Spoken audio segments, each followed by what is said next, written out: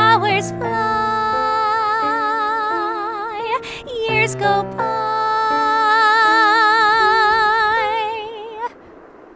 Then the morning comes, shadowed by the moon, and the angels for whom you speak cry for light, cry for.